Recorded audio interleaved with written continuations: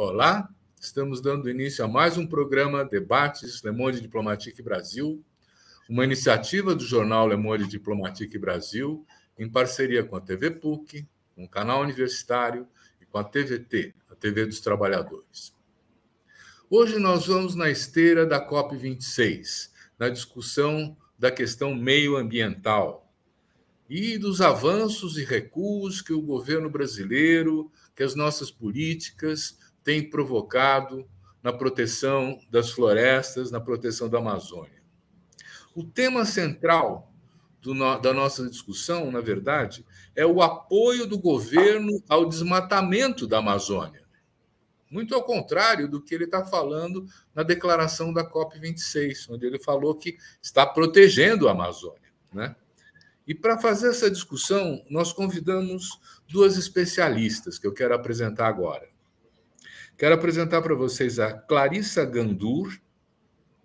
A Clarissa é doutora em economia pela PUC do Rio de Janeiro, tem o foco em desenvolvimento econômico e microeconomia aplicada. É coordenadora de avaliação de política pública com foco em conservação no Climate Policy Initiative, PUC Rio de Janeiro, e participa do projeto Amazônia 2030. Seu trabalho avalia o impacto das principais políticas públicas de proteção florestal, faz avaliação do combate ao desmatamento na Amazônia e explora novos desafios e oportunidades para fortalecer a proteção da vegetação nativa brasileira. Uma pessoa super qualificada para fazer a nossa discussão. Muito obrigado, Clarissa, por estar aqui com a gente. É um prazer, Quero... Silvio. Eu agradeço o convite. Prazer é nosso. Quero apresentar também a Brenda Brito. A Brenda Brito, ela é doutora em ciência do direito pela Stanford University nos Estados Unidos. Ela atua como pesquisadora associada do IMAZON, que é o Instituto do Homem e Meio Ambiente da Amazônia, e participa também do projeto Amazônia 2030. Ela se dedica há 18 anos ao aprimoramento de leis e políticas ambientais e fundiárias para a conservação e redução do desmatamento na Amazônia. Muito obrigado, Brenda, também por estar aqui com a gente. É uma alegria poder ter vocês duas aqui para discutir e informar os nossos telespectadores sobre o apoio do governo ao desmatamento da Amazônia. É verdade isso, Clarissa? Bom, Silvio, vamos lá. Infelizmente, estamos num contexto em que parece que há algum tipo de apoio, ou no mínimo algum tipo de omissão, que acaba apoiando, de fato, é, o avanço do desmatamento. E eu falo isso com bastante pesar, porque, na verdade, o, desmatamento na Amazônia ele é um velho conhecido do Brasil. Não é um desafio novo, não é um desafio é, para o qual a gente não tem solução. Né? O Brasil sabe muito bem o que precisa fazer para combater o desmatamento na Amazônia. E eu falo isso porque o Brasil já fez isso, já fez isso muito bem. É, é, nas últimas duas décadas, o Brasil ele teve muito sucesso no uso da política pública para combater o desmatamento na Amazônia. É, iniciando ali em, é, em 2004, o governo federal ele lançou um plano de ação, é conhecido como PPCDAM, o Plano de Prevenção e Controle o desmatamento na Amazônia. O PPCDAN ele foi um grande plano estratégico e ele, ele essencialmente mudou a forma como o Brasil lidava com o desmatamento na Amazônia. Né? Ele introduziu uma série de políticas públicas bastante inovadoras, inclusive, e dentro desse arcabouço mais amplo de um esforço coordenado para o combate ao desmatamento. Desde então, a, a academia já produziu uma série de avaliações empíricas, científicas, rigorosas dos diferentes esforços que foram implementados no âmbito do PPCDAM. Então, hoje a gente já tem um, um, um corpo de evidência muito robusto sobre o que, é que funciona para combater, combater o desmatamento na Amazônia e por que, que isso funciona. E o que essas, essas avaliações é, acadêmicas nos mostram é que a política pública ela deu certo. Tanto é que na primeira década ali do, do PPCDAN, a taxa de desmatamento na Amazônia, ela caiu em mais de 80%, né? E existe evidência que mostra que essas políticas públicas é, foram, foram uma parte muito importante dessa queda, fizeram uma contribuição muito expressiva para essa queda. É, é verdade que desde ali meados da década de 2010 o desmatamento ele vem numa trajetória é, de, de, aceleração agravada nos últimos dois anos, e tudo indica que veremos também uma, uma taxa ruim agora é, em dezembro, né, com o, o, a taxa do PROD de 2021. E o que a gente sabe hoje, essa evidência ela nos mostra o que, que funcionou e o que, que poderia melhorar. E a, talvez a gente possa até entrar um, um, pouco mais em detalhes de quais foram as principais políticas públicas que contribuíram para essa queda, mas só para retomar a sua pergunta no início, por que, que eu falei de omissão? Porque não tem desculpa hoje para dizer a gente não sabe o que, que tem que ser feito para combater o desmatamento na Amazônia. A gente sabe. A gente sabe muito bem. Era perfeito? Não, de forma alguma. Não era perfeito. Uma série de coisas, né? A gente, a gente inclusive, tem a evidência, ela aponta para caminhos relevantes que podem é, é, e que precisavam ser aprimorados, né? Mas a gente não pode ignorar toda a nossa experiência e toda a evidência que essas avaliações acadêmicas trazem. Né? Então, a gente não está aqui tateando no escuro. Né? A gente sabe o que, que precisava ser feito e muito disso não está sendo feito. Então, realmente, a gente fica aqui numa situação em que é, existe uma inação. E isso, claro, cria um ambiente de agravamento dessa questão do desmatamento na Amazônia. E tá eu, não, não, eu, eu, vamos dividir um pouco a bola. Vamos, perfeito. Eu vou. É muito assunto, é importante que você controle aqui. Não, e, e, nós estamos num momento que nós estamos nos introduzindo no tema, né? Ainda não estamos chegando lá no núcleo da nossa conversa. Mas então eu queria pedir para a Brenda, já que nós sabemos o que, que tem feito, o que, que tem o que, que tem que ser feito, eu queria perguntar para você, o que, que foi feito que deu certo? que nos dá essa pista, que já sabemos o que fazer? Bem, Silvio, é, como a, a Clarice estava falando, né, acho que teve um conjunto é, de políticas públicas que foi implementada né, nesse período aí, principalmente a partir de 2004, com o lançamento desse plano de combate ao desmatamento.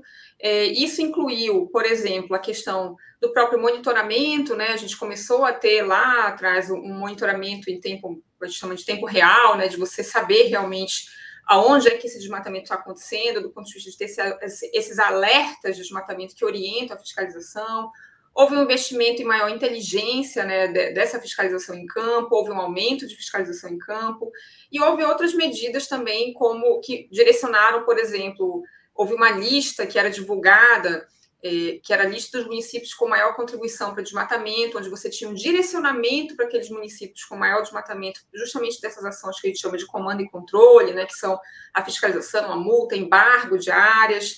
Enfim, acho que teve várias questões, até restrição de crédito teve para municípios que tinham grande desmatamento, e isso os efeitos acabaram sendo é, identificados né, ao longo do tempo, seja com a queda do desmatamento, seja depois com essas políticas, é, é, com essas avaliações né, que, a, que a Clarice mencionou.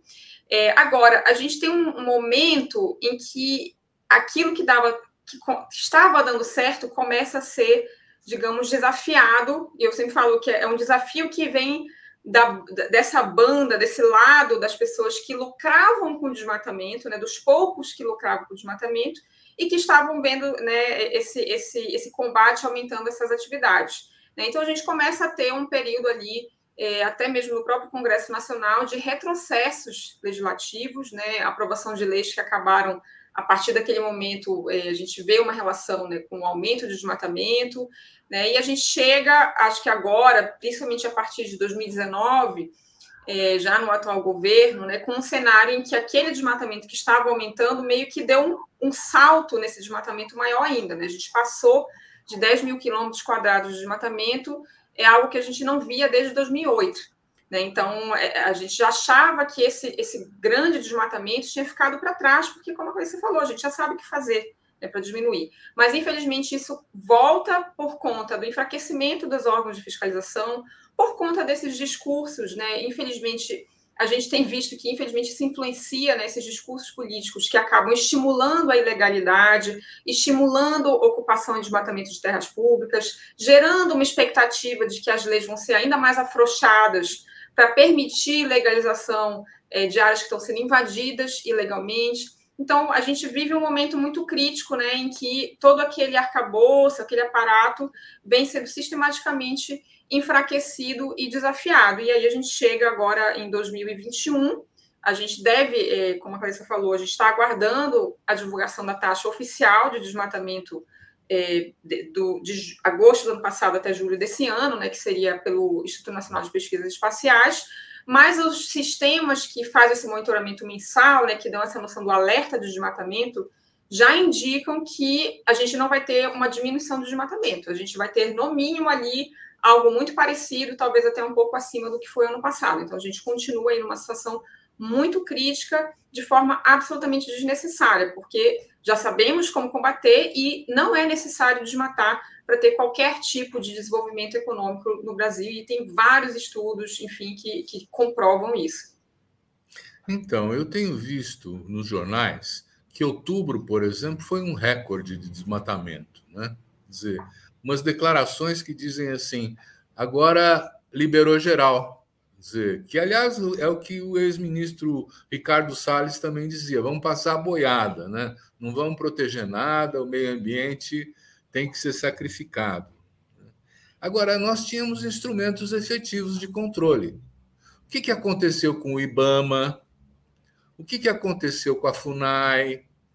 O que, que aconteceu com a ICMBio? O que, que aconteceu com as verbas desses, dessas instituições, com os convênios com o INPE. Foi tudo para o brejo, Clarissa? Não foi tudo para o brejo, porque a gente ainda tem um excelente sistema de monitoramento do desmatamento. Né? E ele foi fundamental para essa redução que a gente viu no desmatamento lá em 2004. Né? Então, esse, esse sistema que é, foi desenvolvido é mantido pelo INPE, né, que é o sistema DETER, né, esse é o sistema oficial de monitoramento. Ele foi absolutamente pioneiro quando ele foi implementado, porque ele trouxe informação em tempo quase real do que, que estava acontecendo na floresta, e essa informação, que são os, os agora famosos alertas de desmatamento, né, de perda florestal, eram passadas para o IBAMA, inicialmente para outros órgãos de é, controle ambiental, de fiscalização, e eram usados para direcionar esses esforços de fiscalização. Esse sistema, ao longo do tempo, ele não só ainda existe, como ele foi aprimorado. Hoje a gente consegue enxergar diferentes tipos de perda florestal, então a gente sabe o que é desmatamento, sabe o que é degradação, sabe o que é cicatriz de queimada, né? Então tem diferentes tipos de alerta, e a resolução desses alertas, é, inclusive, é muito melhor hoje do que era no início. Só que o que, que acontece? A gente enxerga o que está acontecendo, mas o fundamental aqui é que exista uma capacidade de resposta por parte dos órgãos de controle ambiental. E é importante destacar aqui, Silvio, que por que, que a gente fala muito de, de comando e controle, como a Brenda apontou, né, de monitoramento, de fiscalização? Porque o grosso do desmatamento que acontece hoje na Amazônia, ele é um desmatamento ilegal. Né? Ele, é, ele é irregular, ele não está seguindo a regulamentação é, da, que existe para a região onde ele onde ele está acontecendo, ou ele está acontecendo em terras públicas, ligado a um processo de grilagem, que é gravíssimo. Isso representa, estima-se que em torno de, de 30% do, do, da área que é desmatada na Amazônia, e esse número vem crescendo. Né? Se a gente está falando de uma atividade ilegal, a gente precisa da atuação do controle ambiental, da fiscalização, de medidas que possam inibir essa atividade ilegal.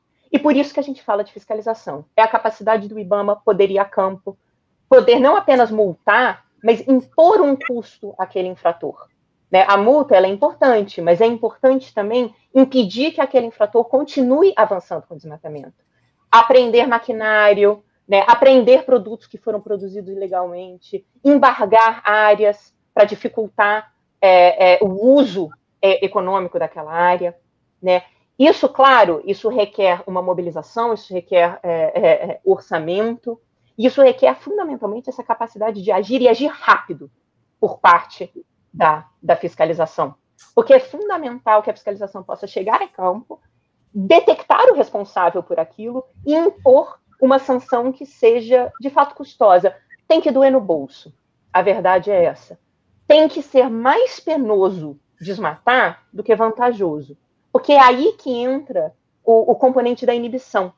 Né? Se um, um, um, potencial desmatador fala, bom, não tem muita chance de eu ser pego, de eu, de eu ser multado, meu, meu trator aqui não vai ser destruído, vale a pena ele continuar com aquela atividade.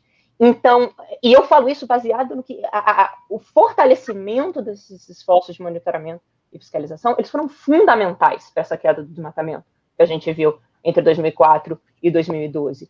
E como a Brenda levantou na, na fala anterior dela, a gente tem visto ao longo dos últimos anos sinais de enfraquecimento desse arcabouço de controle ambiental. Fa é, um enfraquecimento da estrutura de governança, reduções de orçamento, alocação de, de, de pessoal para cargos de chefia sem preparo técnico para ocupar esses cargos. Então, o que acontece é que apesar da gente ainda assistir, é, enxergar muitíssimo bem o que está acontecendo então, a capacidade de resposta por parte dos órgãos ela está muito limitada. E se não há uma punição, então fica essa sensação de pode tudo. E aí a gente vê essa escalada da ilegalidade, como de fato vem acontecendo. Então é, é uma coisa que foi sendo construída ao longo do tempo e que hoje culmina nesses resultados terríveis que assistimos. Tá. Olha, eu vou trazer aqui uma memória eu acho que foi uma meia dúzia de fazendeiros no Pará que decidiram promover o Dia do Fogo, né? E segundo informações que a gente tem assim de imprensa, tal, eles pegaram alguns motoboys com gasolina, cada um e, e, e, e mandaram esses motoboys tocar fogo no, na, na floresta ao longo de uma estrada que eles queriam, eh, região que eles queriam desmatar né, para ampliar as suas fazendas. Né? Esse Dia do Fogo ficou famoso, porque inclusive criou uma nuvem de poluição que atingiu muitas regiões, inclusive cidades. Né? Aconteceu alguma coisa com essa gente, Brenda? O que, que, pode fazer tudo? Pode fazer grilagem, depois tem anistia, depois tem titulação de terra. É, é assim? Olha, assim, infelizmente a gente não tem notícia se é, os mandantes né, desse Dia do Fogo foram efetivamente punidos. Né? Infelizmente, a gente tem visto essa capacidade de fiscalização, né, de investigação de crimes ambientais sendo bastante reduzida, né, como a Clarice indicou, né, seja do ponto de vista da própria estrutura administrativa dos órgãos ambientais, mas também, muitas vezes, a gente tem que lembrar que quando a gente está falando de crimes, né, como esse foi um, um, caso aí de crime ambiental, a gente também tem que ter todo um investimento de investigação de polícia, né, polícia civil, polícia federal, né, e isso também é, tem sido enfraquecido do ponto de vista desse, desse comando aí para ir atrás dessas investigações, né. A gente tem casos aqui, aqui no Pará, de onde eu falo, né, é muito muito marcantes né, na, nas últimas décadas né, do, do, que a gente chama de grilagem de terras, né, que é esse processo de roubo de terras públicas, que é esse processo em que as pessoas, né, em geral, é, quadrilhas, enfim, se apropriam de terras públicas, né, desma ocupam, desmatam essa área para sinalizar que aquilo está sendo ocupado. Muitas vezes são grandes extensões de terras, acabam loteando essas áreas e depois transformando em imóveis pequenos a médios e acabam muitas vezes comercializando ilegalmente essas áreas. Né? E a gente teve casos é, é, no passado, em 2016, 2014, de operações grandes que foram organizadas pela Polícia Federal, pelo Ministério Federal, né, pelo IBAMA, para literalmente é, é, descobrir quem eram essas quadrilhas, quem eram os mandantes, processá-los, né? Então tem processos, infelizmente isso acaba demorando é, do ponto de vista da, da, própria punição, enfim, por conta do próprio judiciário, mas o fato é que a gente não, desde então, a última grande foi 2016, desde então a gente não viu mais esse tipo de caso, digamos, que vai atrás realmente dos mandantes, né, como foram esses casos, e a gente sabe que esse tipo de problema tem aumentado na região, sabe por conta até mesmo do trabalho da própria imprensa investigativa, que tem ido a campo bastante nesses últimos anos, tem uma área é, da Amazônia que está sendo alvo realmente é, desse processo de ocupação é, de grilagem, né, de matamento, que é uma região ali do sul do Amazonas, que no passado era uma região, o estado do Amazonas em geral, ele é bastante conservado, mas infelizmente, nesses últimos dois anos, o desmatamento tem aumentado muito nessa região, né? a ponto da gente ter visto em alguns meses desse monitoramento de alerta o Amazonas sendo ali um dos primeiros, né? Isso foi um susto até para a gente que acompanha isso há muito tempo, porque a gente está meio que mais acostumado, infelizmente, a ver estados como Pará e Mato Grosso liderando ali o desmatamento. Então, o fato do Amazonas estar também surgindo como um estado é, que, dependendo do mês, está tendo um, um, um, destaque de desmatamento, mostra que está acontecendo alguma coisa muito grave. Né? Então, a região ali do sul do Amazonas tem sido alvo né, infelizmente, de grilagem, tem vários relatos de conflitos de terra, né, e a gente está vivendo isso não só do ponto de vista do campo, né, mas também com tentativas no próprio Congresso Nacional de afrouxar a legislação para permitir que essas áreas que estão sendo ocupadas ilegalmente né, sejam eventualmente legalizadas. Então, a gente está diante aí de um, de um problema que pode se tornar quase como permanente né, se esses projetos de lei que estão tramitando uhum. forem aprovados. Né? E, e acho que é, um, é uma perda para todos nós brasileiros, porque isso vai acabar estimulando ainda mais esse processo de ocupação. Né? Porque se eu, se eu mudo a lei agora para legalizar isso, por que, que eu não posso mudar lá na frente para legalizar quem continuar ocupando? Né? Então, a gente está vivendo um período muito crítico é, nesse, nesse momento agora. Brenda, ainda com você que é de direito, que, que é especialista de direito, né? dizer a, a bancada que você está falando no Congresso, eu suponho que seja do agronegócio, né? Quer dizer, uma bancada que tem interesse em expandir a área uh, de pastagem, de gado. Eu não sei se isso é apenas um pretexto para ocupar e fazer a grilagem, ou se é um modelo de expansão econômica dentro da Amazônia. E eu me lembro que no tempo, vamos dizer assim, dos militares da ditadura de 64, havia uma, uma concepção de que era preciso ocupar a Amazônia para que os outros países não disputassem aquela região com a gente. Né? É essa estratégia que está prevalecendo ainda na concepção do governo que permite, vamos dizer assim, a grilagem de terra e a invasão das terras públicas? Silvio, em certa medida, eu, eu falo que às vezes parece que a gente tá, voltou no túnel do tempo, né? Porque a gente vê algumas imagens assim de, é, de fotos, né? De, hoje em dia, e vê as fotos da época lá da década de 70, do que estava acontecendo na Amazônia, e parece, é difícil saber o que, que era antes e o que é agora. Né, o nível em algumas regiões de, de degradação, de desmatamento, uhum. de forma absolutamente ineficiente, desnecessária, ele, ele em alguns momentos parece que a gente está realmente voltando àquela, àquela concepção. E, de uma certa forma, eu costumo dizer que eu acho que, por mais que a gente tenha conseguido, como a Clarice falou, reduzir o desmatamento entre 2004 e 2012, parece que aquela campanha de que precisamos botar a floresta abaixo né, para desenvolver, parece que aquilo não foi necessariamente apagado. E, e, e, e, no momento em que você começa a ter um enfraquecimento desse, dessa, desse comando e controle contra o desmatamento, parece que isso emerge de novo. E a gente está vivendo esse momento em que, por mais que você tenha é, várias representações, é, fala, é, políticos falando, ah, não precisamos desmatar para produzir, né? Você tem ministros que falam isso, enfim, governadores e tal.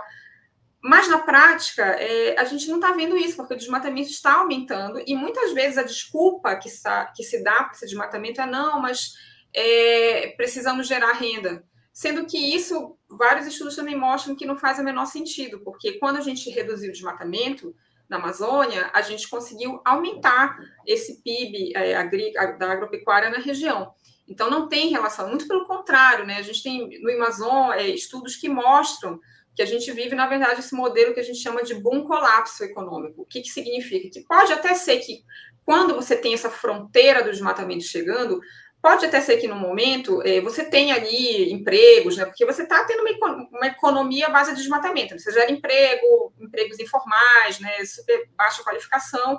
Mas no momento em que aquela floresta acaba, né? Em que aquele solo fica desgastado, essa economia migra para o próximo município que ainda tem floresta e começa esse ciclo de destruição.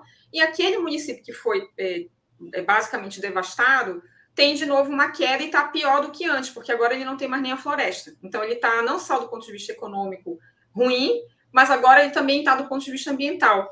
Então, infelizmente, o, a cada vez mais a gente tem estudos que, que só comprovam isso, né? Que o desmatamento ele não está atrelado à melhoria social, econômica, à melhoria ambiental. Isso não está trazendo desenvolvimento para a região. Infelizmente, isso acaba enriquecendo uma elite, basicamente, que depende do desmatamento, que lucra com o desmatamento e que, infelizmente, acaba sendo uma elite que elege vários representantes, não só na esfera federal, mas, infelizmente, também na esfera estadual.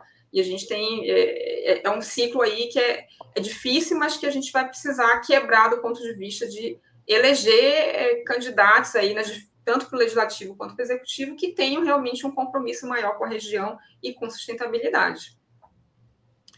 Me faz lembrar o Jorge Amado, quando ele fala da destruição do ambiente e da ocupação na região de Ilhéus, nos romances dele.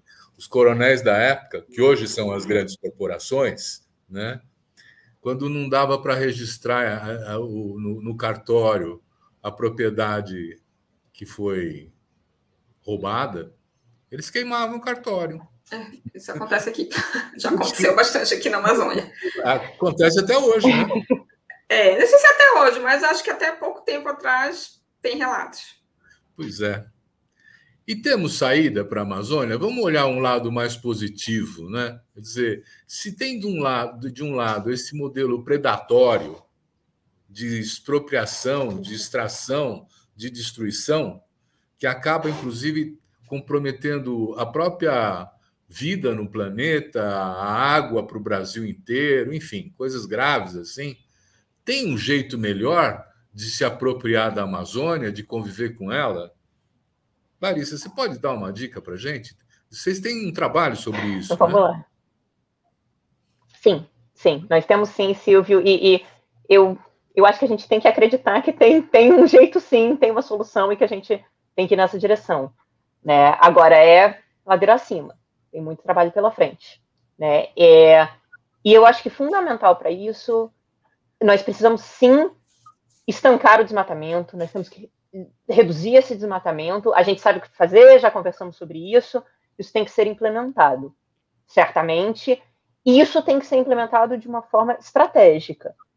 Né? Então, partindo novamente da evidência para falar, bom, isso daqui funcionou, nós vamos manter.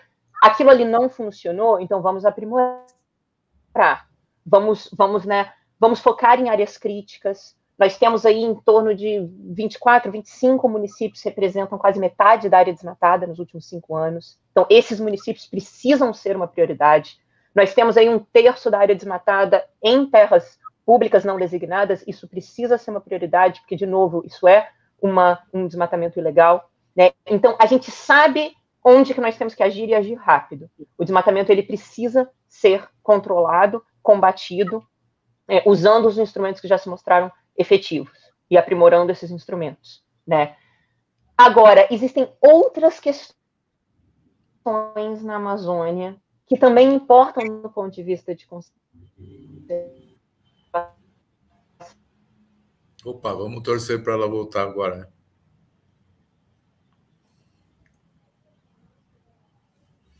Brenda, vamos voltar enquanto enquanto a Clarissa não volta, né, vamos continuar o nosso papo.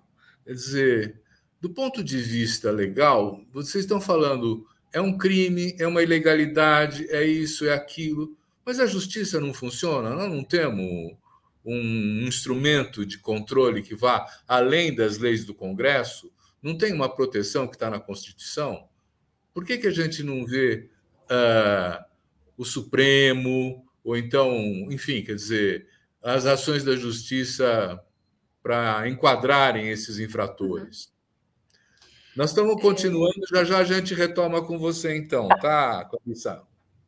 Tá é, Silvio, é até interessante porque a gente, é, acho que nos últimos dois anos, é, a partir de, enfim, dessa retomada maior do desmatamento, a gente começa também a ver uma movimentação é, que a gente não tinha antes de ações judiciais que estão sendo propostas é, pela sociedade civil, por partidos políticos, né, para tentar forçar o próprio governo federal a fazer o seu trabalho.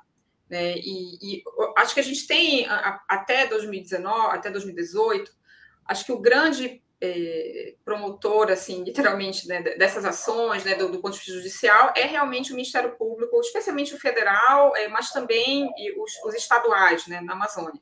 Mas o Ministério Federal com um grande papel ali, quase como carregando sozinho, diria, muitas das grandes ações né, que foram trazidas é, para o judiciário, e aí entrando no ritmo do próprio judiciário, né? Inclusive tem até iniciativas agora do próprio Conselho Nacional de Justiça de tentar identificar, mapear esses processos ambientais para tentar dar mais celeridade na solução desses casos.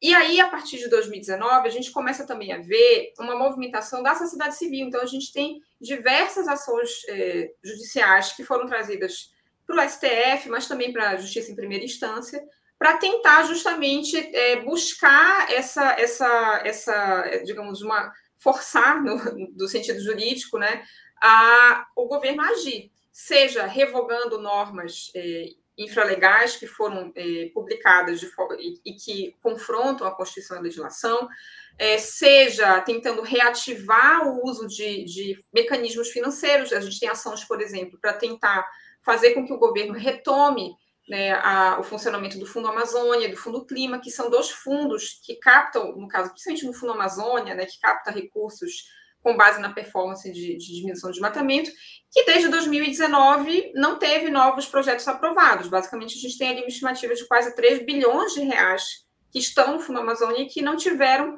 é, um, um, novos, uma nova aplicação porque o, o, governo decidiu contestar o modelo de governança e, e contestar o fato de que o, esse fundo tinha na sua governança é, diferentes representações de sociedade civil, de governos estaduais, e não concordava com isso. Isso acabou gerando impasse com os doadores, e o fundo meio que continua operando com aqueles projetos aprovados até 2018, mas é, é um recurso que está lá parado, que poderia estar sendo utilizado para combate ao desmatamento. Então, tem ações no STF especificamente sobre Fundo Amazônia, sobre o Fundo Clima, tem ações agora é, contestando metas climáticas apresentadas pelo Brasil, porque elas não são ambiciosas, não estão alinhadas com o Acordo de Paris. Então, tem uma movimentação é, forte mas a gente, nesse caso, ainda depende também do, da, da, do próprio ritmo né, do, do, judiciário, muitas vezes. Em alguns casos já houve algumas, algumas decisões eh, de caráter liminar, seja revogando algumas regras que eram ilegais, né, mas eu acho que essas grandes ações, principalmente Fundo Clima, Fundo Amazônia, a gente ainda está esperando, é, porque está com a STF, né, ser, ser julgado, é, já houve até audiências públicas no passado, mas eu diria que a gente está nesse momento, acho que tem diferentes iniciativas é, que estão sendo trazidas e propostas, é, mas é, realmente estão precisando aí também do judiciário ajudar e começar a julgar mais massivamente essas ações. Pois é. Isso que se chama classe dominante, né? Quer dizer, mesmo com instrumentos efetivos de controle democrático, eles passam por cima para realizar os seus projetos. Né? Mas pensando, Clarissa, voltando à, à ideia de que é, é possível uma convivência integrada, complementar, sem destruir, como os povos indígenas, inclusive, aprenderam a desenvolver com a Amazônia, mas de uma maneira moderna. Né? É possível encontrar na Amazônia uma fonte de riqueza, de produção, de trabalho, que não seja nesse modelo predatório?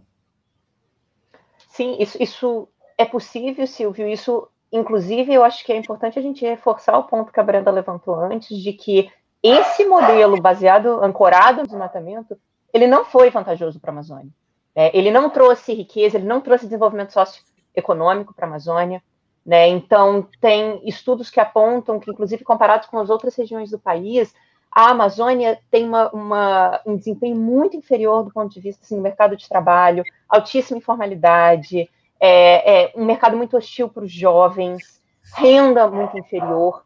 Então, esse modelo, ele, ele não foi vantajoso, o desmatamento ele não está associado realmente a atividades produtivas na Amazônia, não é necessário desmatar para produzir mais. Não é isso que está impulsionando o desmatamento lá. Então, não é isso que está gerando riqueza para essa região. Entendeu? O que a gente precisa é, fazer é proteger a floresta, valorizar essa floresta é, em pé. Né? Existem muitos, muitos estudos, isso está no momento, inclusive, que o debate está muito, muito rico e aquecendo muito sobre o potencial da bioeconomia né, o que a gente consegue é, é, explorar no, bom sentido, não explorar de uma forma predatória, né, mas usar aquela floresta em pé para gerar riqueza para aquelas populações, né, e principalmente reconhecer que a floresta em pé, ela inclusive ela está provendo serviços ecossistêmicos para quem está lá vivendo na floresta, sejam é, é, comunidades tradicionais, seja o, o pessoal que, que, mora, as populações daquela região, mas para o país inteiro. Né? A Amazônia é fundamental para regular os ciclos hídricos, que são um insumo é, é, realmente crítico para a produção agropecuária no resto do país, para nossa produção de energia, é importante lembrar. Né? Ela está contribuindo para o esforço global de mitigação de efeitos adversos da, de mudanças climáticas. Então, é importante, eu acho que isso é fundamental para essa, essa convivência harmônica, digamos, esse desenvolvimento sustentável, é, atribuir esse valor à floresta, ou melhor, reconhecer esse valor na floresta, né? E isso já existe muita evidência, novamente, sobre isso, e, mas eu acho fundamental, inclusive, que essa, esses aspectos eles sejam é, muito é, divulgados amplamente, porque as pessoas, a sociedade civil também tem uma responsabilidade nisso, de entender, né, é, qualificar o debate e cobrar votar bem, como disse, apontou inclusive a Brenda, né? Nós precisamos cobrar isso, nós precisamos eleger é, é, é, representantes que estão alinhados com isso. E nós precisamos também avançar em outras dimensões de conservação, porque combater desmatamento é crítico, mas não é a única coisa que importa, não é a única ameaça à Amazônia. Tem uma questão fundamental da degradação florestal. Porque quando a gente fala de desmatamento, é, é, o, é, o, chamado desmatamento em corte raso. Praticamente toda a vegetação, toda a floresta já foi embora. Mas e, existem dados que apontam que a área que foi degradada, ou seja, que já perdeu parte é, dessa vegetação, mas que ainda não está em corte raso, que essa área, ela inclusive supera a área desmatada por ano. Então, nós estamos falando de, de, de áreas enormes que não têm sido foco da política pública, não tem sido foco do debate público, muitas vezes não são contempladas, inclusive nas nossas métricas de performance ambiental, inclusive de performance de conservação. Quando a gente fala de taxa de desmatamento, é só desmatamento em corte raso, né? A gente precisa olhar para isso, a gente precisa entender esse fenômeno, entender como que ele está ligado a essa, essa dinâmica de, de conversão da floresta e uso do solo, ou seja, da perda florestal, para que a gente possa combater esse fenômeno. Aí entra, por exemplo, a questão do fogo que você apontou mais cedo na nossa conversa. Né? Então, a gente precisa enriquecer esse debate, porque isso faz parte de uma estratégia para um desenvolvimento, sim, sustentável, onde a gente vai produzir, entendeu? e precisamos, é sim crítico que, que o Brasil leve desenvolvimento socioeconômico para essa região, porque realmente ela está aquém do resto do país, entendeu? mas isso precisa ser feito conservando, protegendo essa floresta. E ainda tem uma questão adicional, ciente de que a minha resposta aqui está até bastante longa, mas da vegetação secundária. É uma vegetação que volta, que cresce em áreas que já foram desmatadas. Os últimos dados oficiais se dizem respeito a 2014, então já um pouco antigos, mas eles apontavam que em torno de um quarto da área que tinha sido historicamente desmatada na Amazônia já tinha vegetação secundária. Então, por um lado, ah, é uma boa notícia, a floresta está voltando, né? Isso realmente é, aponta para um potencial da floresta regenerar, mas na verdade isso reforça um padrão de uso do solo absolutamente ineficiente, porque a gente continua avançando sobre a floresta primária, perdendo todos os serviços ecossistêmicos que essa floresta traz, para essencialmente abandonar essas áreas. Né? Elas não são nem colocadas para um uso produtivo. Novamente reforçando que essa, essa história de que precisa desmatar para produzir isso, isso, isso é desinformação. A, a, a evidência e a ciência já mostrou que isso não vale.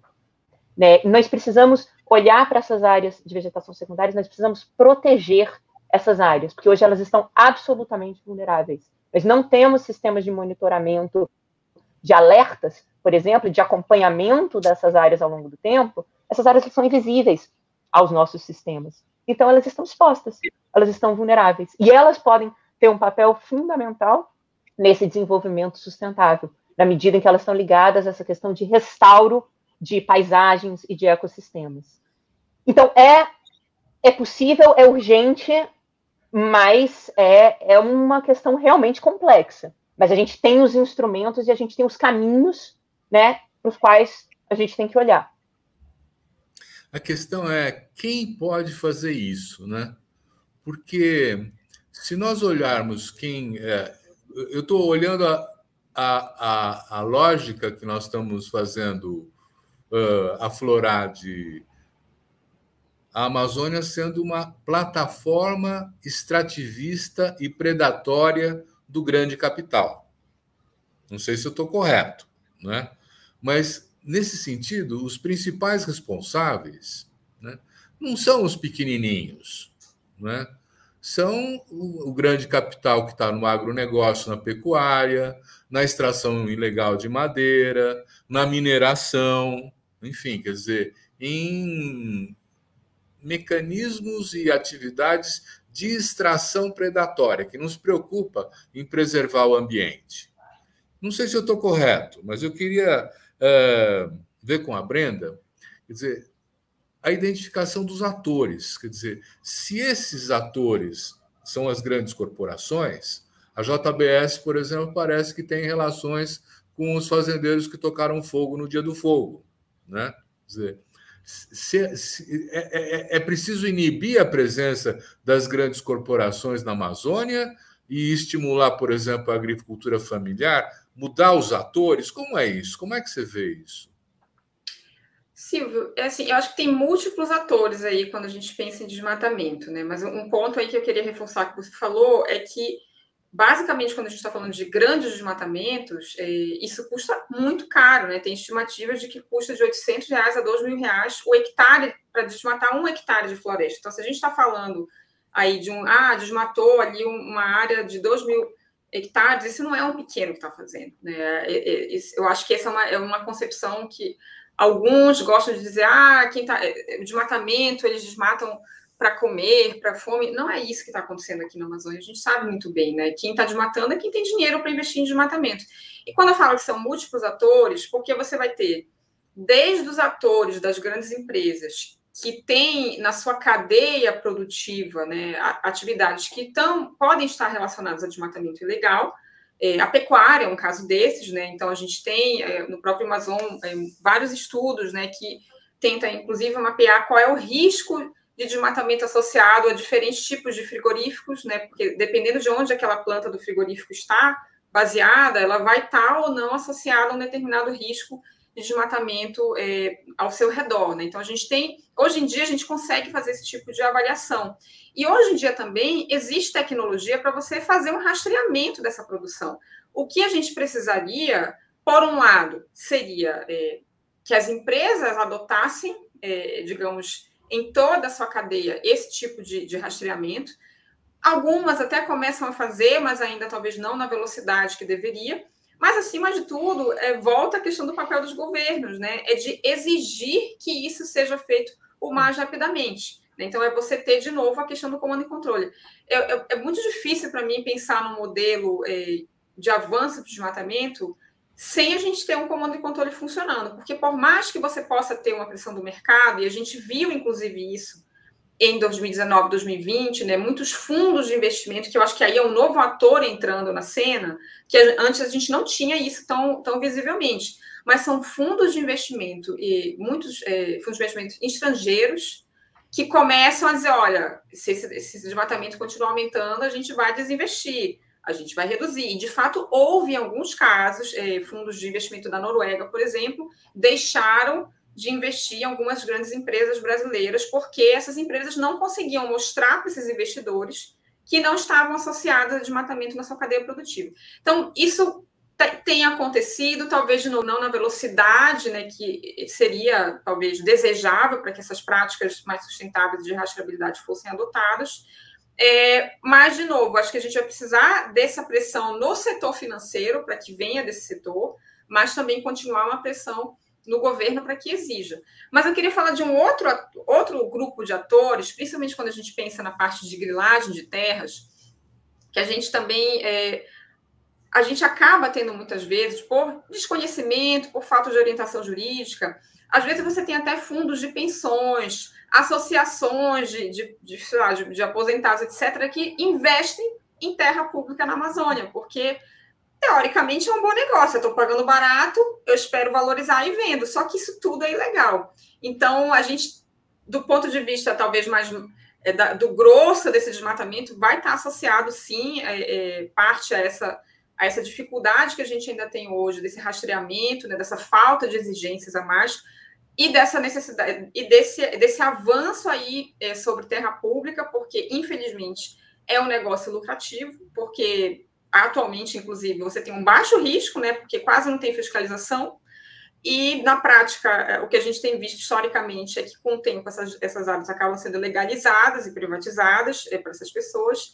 Então, a gente tem, na verdade, vários atores ali que estão operando, e é por isso que a gente precisa ter um conjunto de medidas para tentar é, inibir. Mas eu diria aí que dos, dos dos novos atores que são interessantes de observar e de, e de, pressionar mais são esses grandes fundos de investimento, né? Porque essas grandes empresas é, que atuam no Brasil, elas têm também, elas têm investimentos estrangeiros, né? Então acho, que precisa ter cada vez mais essa cobrança para que esses portfólios desses fundos de investimento de fato não estejam associados a desmatamento.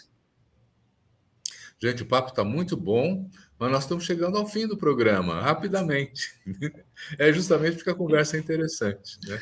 Eu queria colocar para vocês duas, nós vamos ter o quê? uns dois minutos para cada uma agora, né? em que há toda uma teoria que diz que o novo sempre está presente no presente. Quer dizer, as configurações de um modelo futuro, vamos dizer assim, de exploração da Amazônia, de integração humana e social no meio ambiente amazônico, já tem algumas indicações positivas de como devam ser feitos se nós tivermos um governo efetivamente controlando e desenvolvendo políticas públicas de apoio a esse processo? Você quer contar para a gente, Clarissa, se tem alguma, algum sinal positivo que a gente pode acreditar que é um vetor para apontar para o futuro? Eu acho que existem sinais positivos, sim, Silvio. É, existem exemplos, existem, digamos, projetos, experiências, muitas vezes ainda locais, né, ainda numa escala reduzida, mas de, de casos de sucesso. Né? É, é um contexto ali onde você tem uma produção, onde você traz um, uma riqueza para a população local, num processo que não é predatório, né, uma integração é, realmente da produção com a conservação ambiental. Né. Você tem histórias de sucesso dentro da Amazônia, inclusive com coisas como pecuária, com produção, né, com, a produção agropecuária, com a, a, a, a, produção que usa a floresta em pé também, sistemas integrados, né? E você tem também um componente aí que é muito importante, que é também da, da inovação, então, a bioeconomia hoje ainda está nessa, nessa discussão do, do, potencial que a bioeconomia é, pode ter, né? Uma coisa que talvez a gente só veja aí ao longo de, de décadas futuras, mas é, eu acho que isso precisa ser estudado, precisa ser né, compreendido, vendo como que a gente pode explorar é, isso.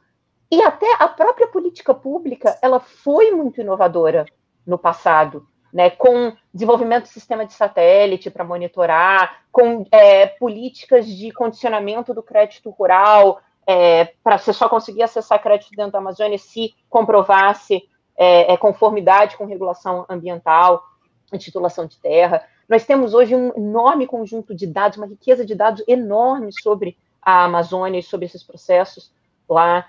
É, eu acho que tem muita coisa acontecendo que pode ser integrada mas é preciso dar escala para isso. Eu acho que isso é que é fundamental. E aí, mais uma vez, entra o papel da política pública. Porque a política pública ela serve como um norte para isso. Sim, ela tem que, que punir a ilegalidade que está acontecendo, isso é fundamental, inclusive é para criar ali um ambiente é, de estabilidade, que seja interessante para que esses negócios né, sustentáveis se estabeleçam na Amazônia. Porque é, é enquanto a Amazônia ficar na ilegalidade, ela vai ficar à margem dos, dos mercados formais. E isso, isso não gera riqueza.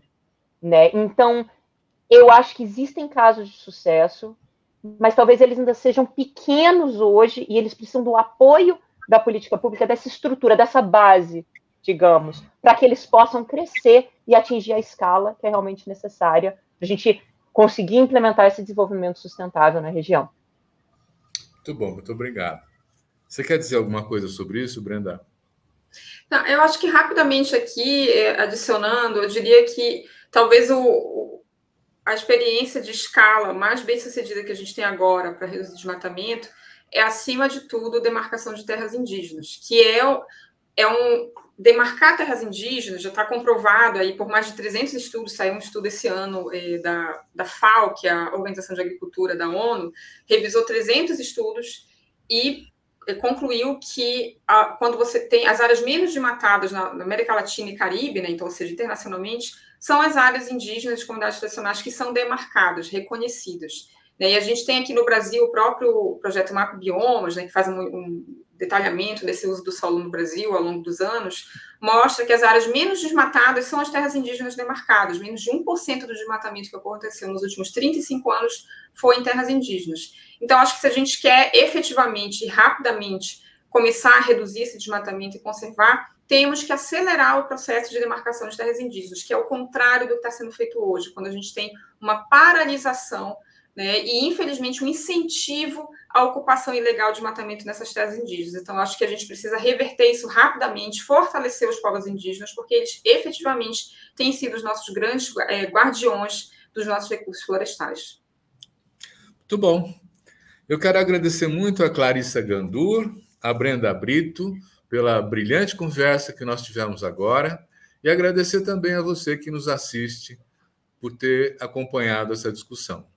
Muito obrigado. Semana que vem tem mais.